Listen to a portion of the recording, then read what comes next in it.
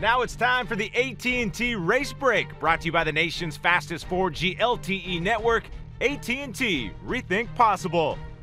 Following a week off, NASCAR heads to Martinsville, but everyone is still talking about Fontana, where the already testy relationship between former teammates Joey Logano and Denny Hamlin boiled over in the final laps and ended with a violent crash that sent Hamlin to the hospital with a fractured vertebrae that's expected to keep him off the track for six weeks.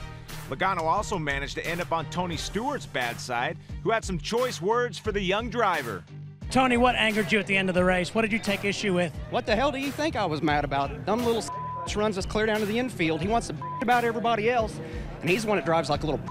I'm gonna bust his ass. Oh, should be a fun one. Mark Martin will drive Hamlin's number 11 for Joe Gibbs Racing, while points leader Dale Earnhardt Jr. looks for his first trip to victory lane on a track where he has 10 top 5 finishes but no wins. Don't forget to play AT&T's Fastest Driver Challenge.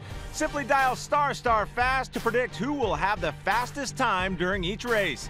Brought to you by the nation's fastest 4G LTE network, AT&T. Rethink possible.